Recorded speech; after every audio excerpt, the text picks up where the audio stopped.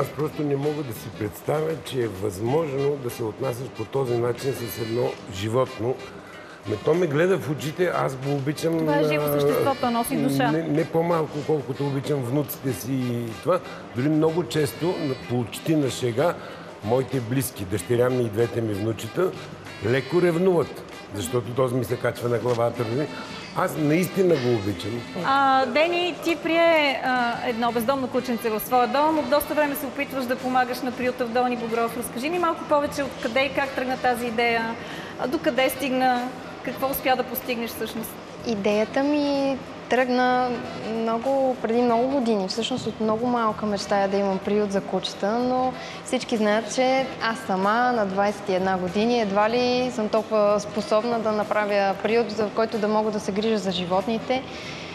И една вечер ми хрумна тази идея, че мога по някакъв начин да помогна на приюта, в който съм доброволец. Съгласувах се с хората, които го стопанисват.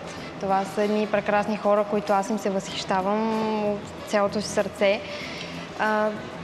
Съгласувах се с тях. По някакъв начин исках, исках да, да популяризирам нещото, което те правят.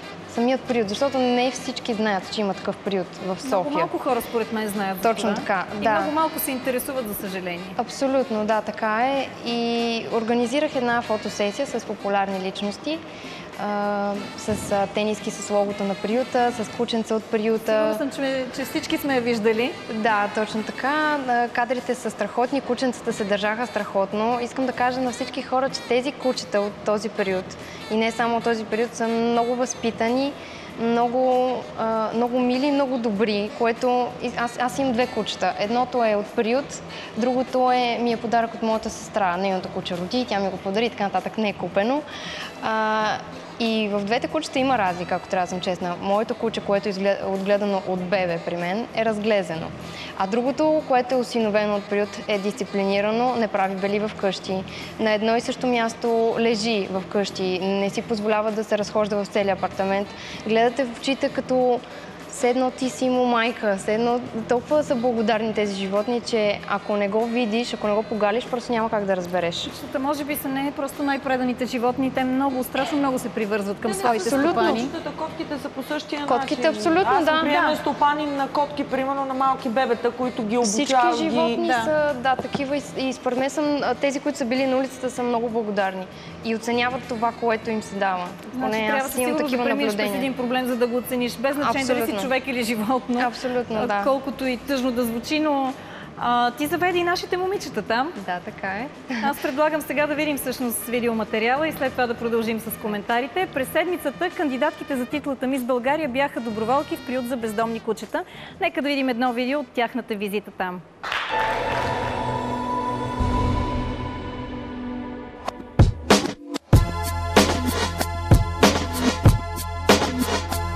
Animal Rescue София стопанисва този приют от две години. То- Той е дом за над 500 кучета, които са били на улиците на София. Имаме доброволческа програма. Всеки е добре дошъл, за да ни помогне с ежедневното обгрижване на тези животни.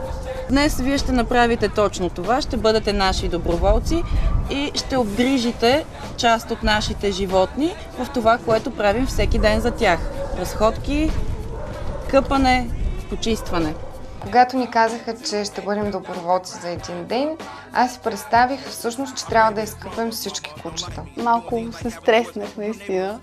Момичета, няколко кученца са осиновени, утре зам- заминават към новия си дом. Хубаво е да ги изкъпете добре. Давайте да започваме. Хайде! Love your mom and everything. See, I ain't the only one who lay down. She wanna rip you up, start a custody war. My lawyer, stay down. She never got a chance to hear my side of the story. We was divided. She had fish fries and cookouts. Кученцата бяха много кротки, много послушни, а, не, не ставаха проблеми. Беше, за мен беше изключ- изключително приятно. Е, точно е там сега, където е. Сега го избутвате и с мъркуче, и с четките и всичко трябва да влезе в канала.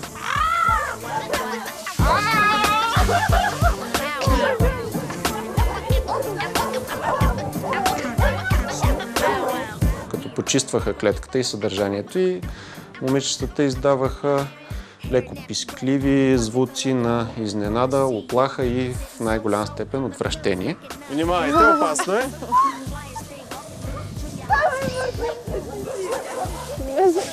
те са събрали там. Ма няма да череме.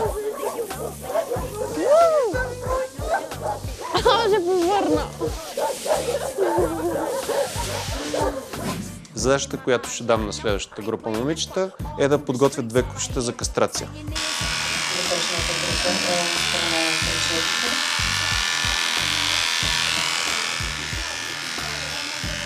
Което се чуди, може една ветеринарна медицина вече да запише.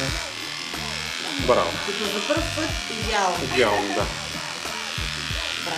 Спираш я и това е. Благодарение на вас сега, тази година ще се родят с 5-10 кученца по-малко в София.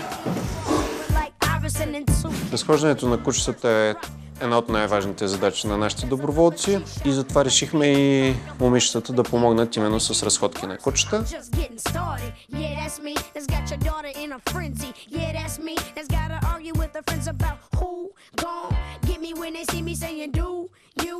Днесният ден беше доста емоционален, изпълнен с а, някакво удовлетворение, това, че сме помогнали по някакъв начин. Най-веселия, най-хубавия ден, изключително много ме зареди. Много бях щастлива, много. Това е точната дума за деня. Много щастлив ден.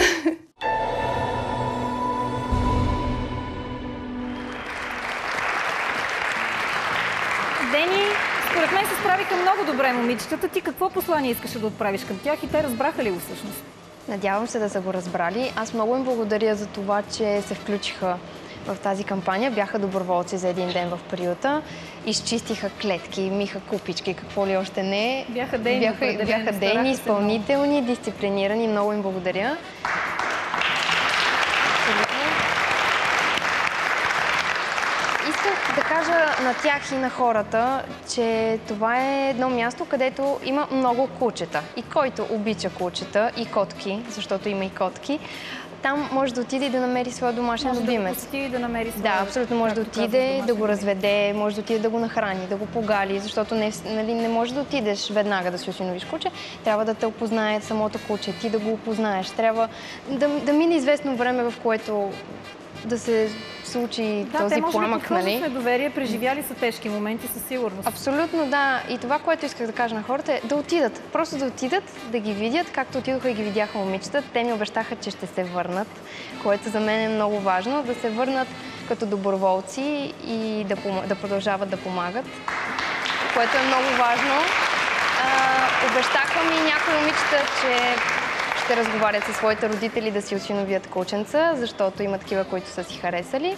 Затова мисля, че това, това е моето послание. Да кажа на хората да отидат и да ги видят. Всичко е добре, когато свършва добре, Абсолютно. наистина. В приюта Но- също така се извършва и безплатна кастрация Има на животни. безплатна Също кастрация. знаеш ли също е колко много приюта има в, а, в България? Приюти общия им брой не мога да ти кажа, но мога да ти кажа горе-долу а, статистически се води, че в София, в общината с пуста информация, има 9000 бездомни кучета. Броя им е над 20 000 със сигурност. Сега с пролетната популация просто... Може би много не над искам, 20 да, не искам 000. дори да, да, да, да гадая какво ще бъде. И всичко това идва от заблудата, че когато кастрираш животното си, му отнемаш едва ли не а, жизнено важна функция, което изобщо не е, Не е така. Не, Добре, наистина ние това ще е трябва за маничко да прекъснем. Съжалявам, че трябва да, така, наистина да, ти, да те прекъснем. Не, не. точно в най-интересния момент. Трябва да прекъснем, както казах вече, за минути, но веднага след това продължаваме темата от студиото. Останете с нас.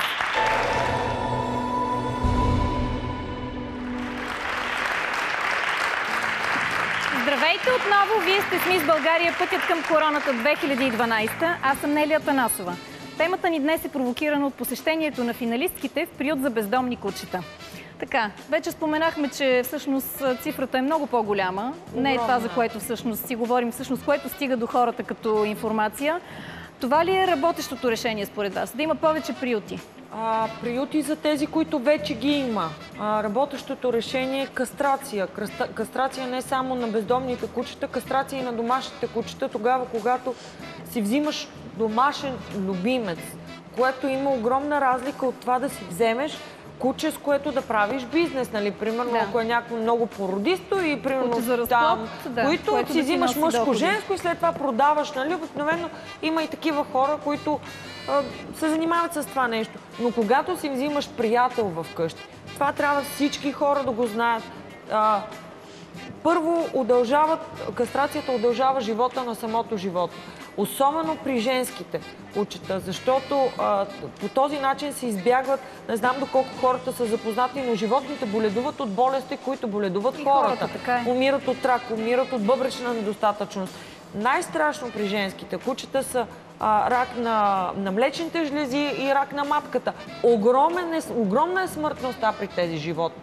И огромна заблуда, която се разпространява, че ако роди веднъж, видите ли, това ще бъде избег- избегнато. Няма, няма никаква логика да е така. Не трябва хората да го приемат като Разбира се, още повече, че кастрацията, извинявай, ама когато нещо, кучетата излязат и се видят по улицата, на никой не му пише кучета, не му пише на челото, Да, аз съм така е, кастриран. така е. То става едно спокойно домашно животно. Така е. Астор, ти имаш ли някакъв фокус, с който да, направиш така, че... Не, не да кастрираш, да намериш дом за всичките тези бездомни кучета и котки. Най-хубаво е всички хора да си отворят сърцата и да го направят. Това е толкова лесно, но явно... Пак ми се иска да ви, да ви разкажа как си взех третото и четвъртото куче. Третото беше от улицата. Допусках, че ще стане огромно, защото лапите му бяха големи, майката средна големина, приличаше на много голям вълк.